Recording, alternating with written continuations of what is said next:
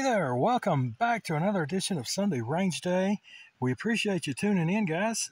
This Sunday we have the Cimarron Thunderer. This one is the 357 Magnum. We brought some 357 with us today and some 38s. First things first, the pistol is clear. The cylinder is empty. There's no ammo present here, so we can safely handle this pistol. This is a beautiful one too. This one has a um, case colored frame and hammer on it. The uh, camera and the lighting just don't do it justice. You can see the cloudiness in it there with the case coloring. It looks, yeah, really nice. Good grips on it.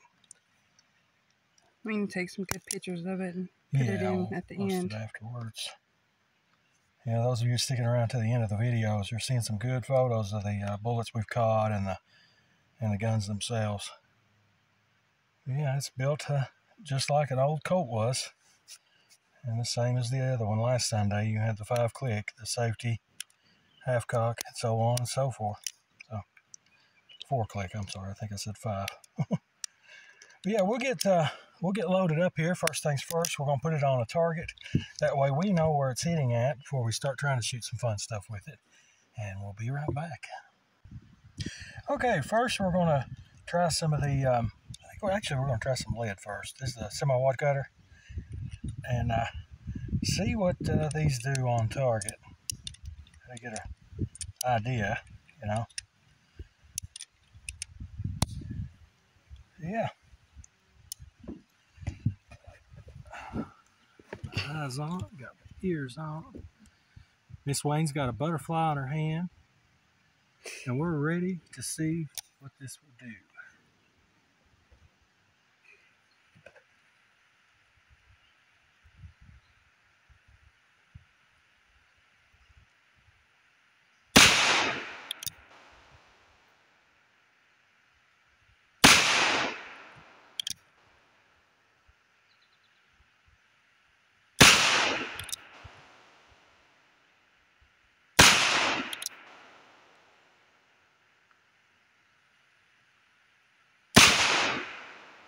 Okay, that was five.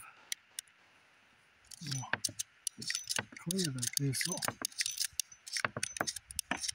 And we'll go check our target. Real quick, I want to show you, you can get a line on this, this Wayne, how fine those sights are on this pistol.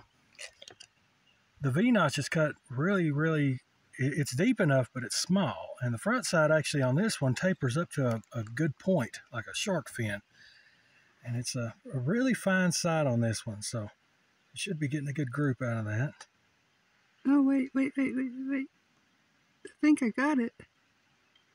well i can get some pictures at the end of the video for them if not but uh, just figured i'd share that with y'all that was uh, 38 special actually on that one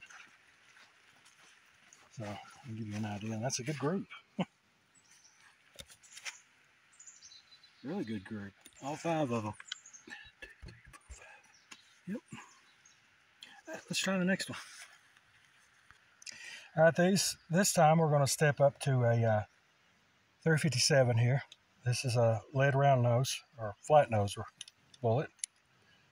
We're going to give these a try. See what they can do.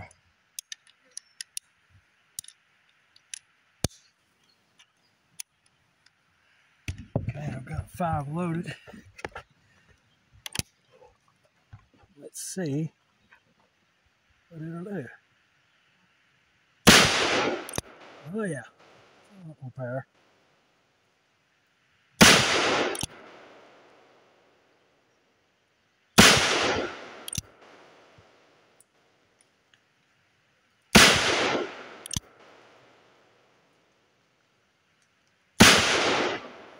All right, that was five.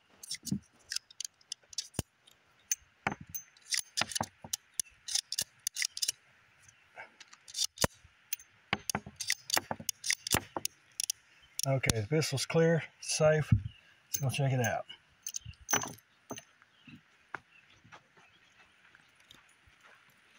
I have to say, it's hot out here today. Very hot. Mid 90 days. Pretty much same group, a little bit wider in that area. Cut into the orange. But yeah, not bad at all. And that was the 357 on that one. So shooting about the same. Pretty good. All right, next up we've got the full metal jackets and these are in the 357 here as well. So let's see what kind of group this gives us. When I remember these, I think they're pretty full on 357 hot. So are you ready for it?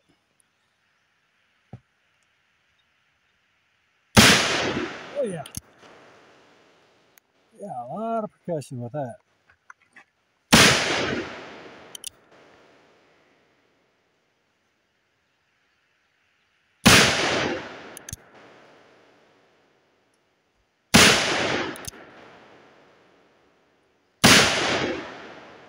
All right. Five.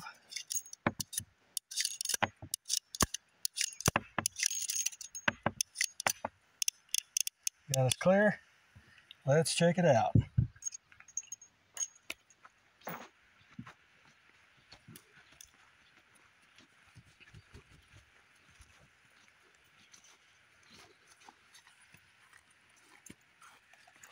we're still holding in the same grouped area there to the left. So I'll have to remember that when I'm drawing on a pop can or a can of soup or something, right? All right, let's try one more. Okay, last one we've got left is the 38 Special. And those are the Acme bullets there. The red mm, lipstick Lipstick bullets. bullets. yeah, these are some of Miss Wayne's favorites. But they do shoot good, though. I have to give them that. They're a pretty accurate round. They were out of that rifle. Well, let's see what they do in the Thunderer.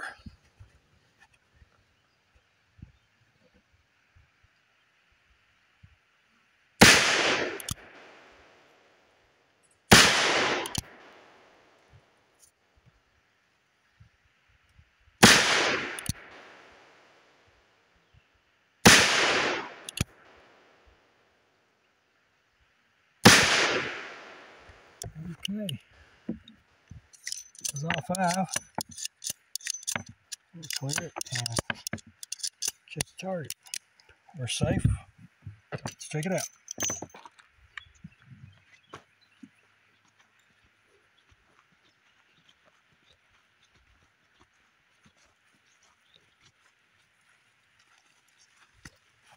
I think one of those hit over here on this side. I think they're drawn a little low. I'm not sure. But ain't all in all, we see that it's guiding a little to the left. So either that or it's me and the heat today. Me and heat don't get along real well. But let's cut some fun stuff and okay we've got a 38 special this is an xtp hollow point in this one and we'll see if we can uh, catch it in the jug i hope i wouldn't mind getting a little wet today it's so hot out here here we go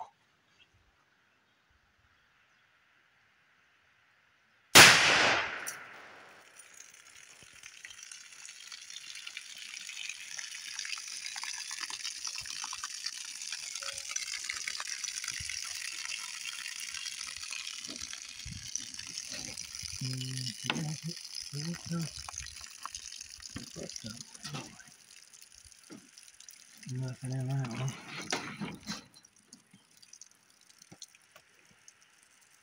Nothing in that one. So, that me, it's went through all the jugs. This was the last one. You have a hole, and you got a hole in the bottom.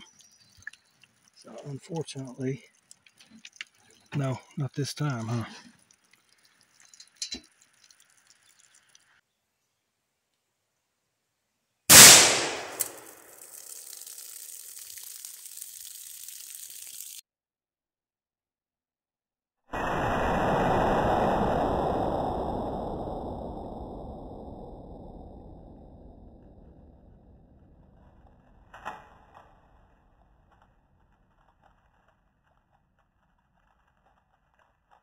Okay, we got another one of those XTPs in here.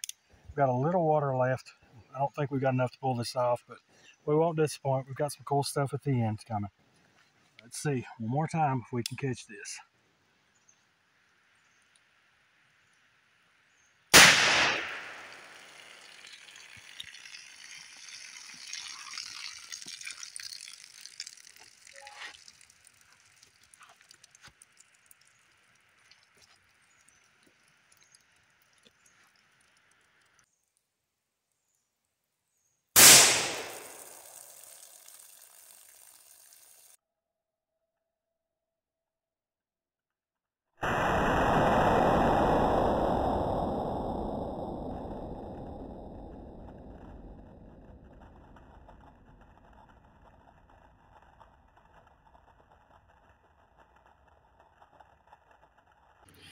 Okay, we've looked everywhere. We can't, we couldn't find that bullet or the first one from that, and we we just didn't bring enough waters today. We'll uh, make up for it in a later one, I guess.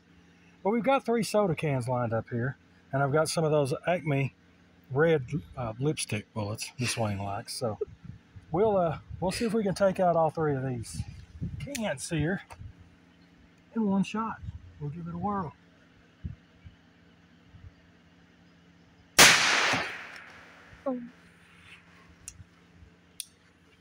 That got him.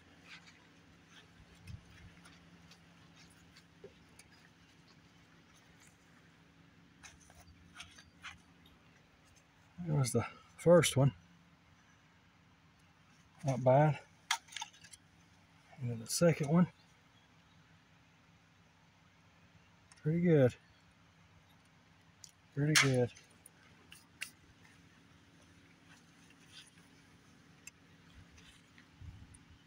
Assuming that was the third one. I don't know. I'm getting hungry. You getting hungry? How about some soup for everybody? Yeah, that sounds perfect.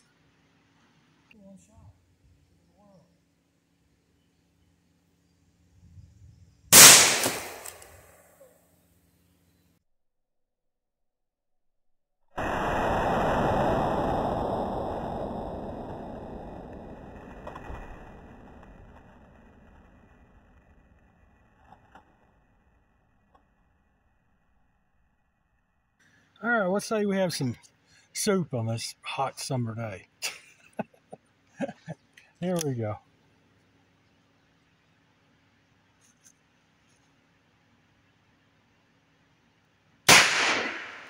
Uh oh. It's okay. I got more where that came from. Oh, that's gross. disgusting. Oh. Okay. Yeah, we, we hit it, guys. We have, uh, Miss Wayne got a little on her, but I am covered in soup. This is disgusting. Um, Got it on me Oh, too. It was God. all over my shirt and yeah, you see pants. what happened there. Yeah, isn't it great? Ha ha ha. Y'all love this, don't you? Yuck. Oh, you know they're all laughing at us right now. Oh, I almost wish I could show my face to show them. This is disgusting. Oh, okay, we'll be right back. Oh, that's disgusting. Oh.